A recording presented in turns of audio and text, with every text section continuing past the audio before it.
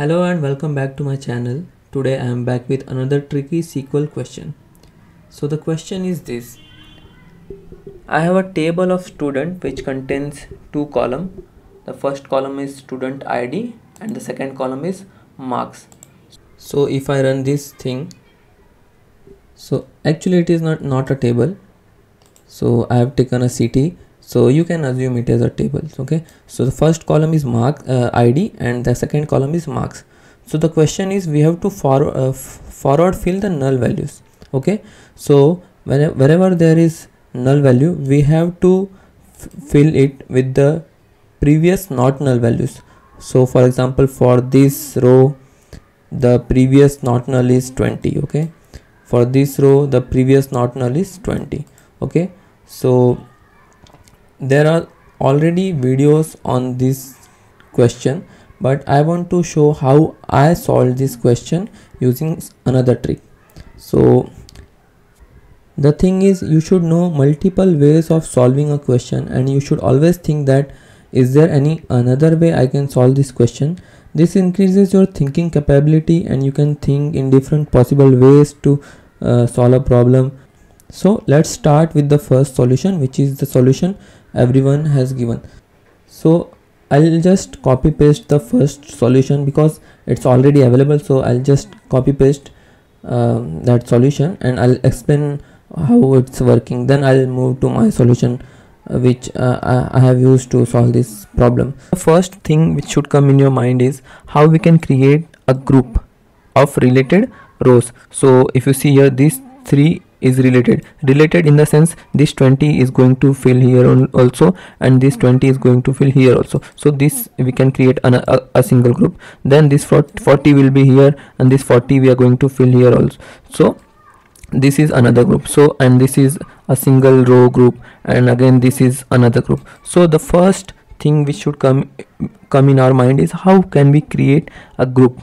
And this is the base of this kind of questions so the first solution is this. I'm just copying uh, copy and pasting the solution and i'll explain.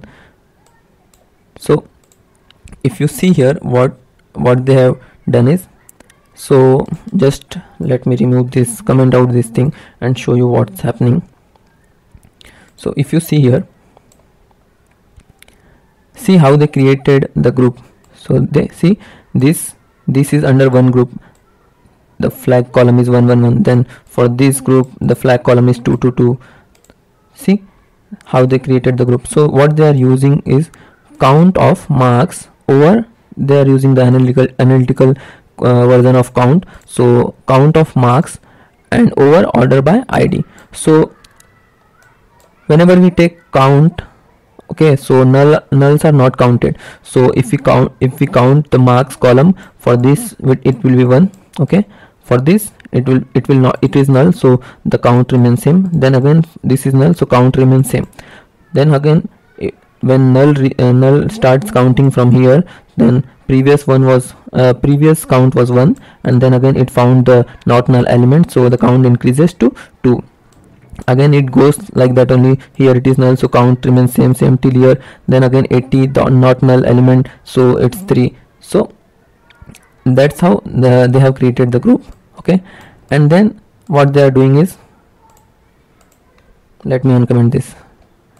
They are just selecting the first value of each group okay? So if you see here they are selecting the first value of marks okay? And partition by flag column. So this is a single group and from that group they are they are taking the first value okay? The first value is a not null value. So that's how they are solving this question. So let me run this thing. And see this is the output. So just ignore this flag column. Just look here. So it's 20 20 20 and 40 40 so see how easily it uh, easily we can solve this when if if we create the groups okay? So this is the solution which is already given by many people. So that's why i copy pasted here so let me show you the my solution how i solve this problem. So as i said that to solve this problem first we have to create the group okay? So to create the group what I did I use running sum method to create the group okay? So I did like this select star comma sum of case when the marks is null then 0 else else the id okay? And then end.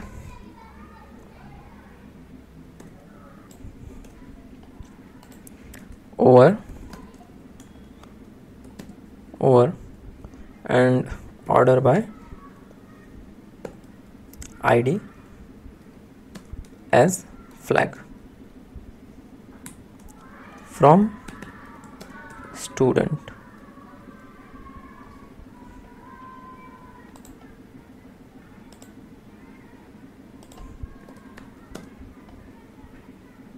So see what we get. So if you notice here I am also able to create the group. So see here from here to here its flag is 1 see here it's flag 1 then from here to here the flag is 5 then here it's single row so it's only one uh, flag 12 then here it's one group it's under one group under one flag it's 20 20 20 so now you will be thinking that what i'm going to do with this flag column okay? So if you notice here what if i take the not null values from this output and join back with the same table. Let me show you what I mean by this. So let me put this thing this thing in another CTE named C. I don't know why I used C over here but let it be. So the this CTE name is C. So so the C the CTE C contains this this ID marks and flag column. So what I'm going to do now is I'm going to do a select. Let me write the the tables or, or the CTE two CTEs which I'm going to join. So the first one is C this CTE where we have this ID marks and flag information. The so the first uh, table will be the first CTE is C. And I'm going to left join with I'm going to take the null not null values from this cct so in the output i will get this row because the marks is not null here. I'll get this row because here we have not null values in marks and these two rows okay? So what i'm going to do is i'm going to write here select star from from c where marks is not null okay? So this thing this select star from C where marks is not null will return me not null values from C. This C CTE so this row will be written this row will be written this row will be written and this row will be written. Okay? And this row will have the flag columns. Okay? And I am going to join on the flag columns. So left join on c dot flag equal to I'm going to name this thing as jd jd dot flag. Okay? And what all the things i'm going to select is see see here i'm going to do left join. So i need all the rows from all the ids from the c. Also see here I want all the IDs whether this is null or not I don't bother about that. I want all the IDs so I am going to take IDs from the C column okay? The other thing I want is marks okay? So marks I'm going to take from the JD column okay? Because the this C column has null values so I don't want the null values. I only want the the values which I have got after the join.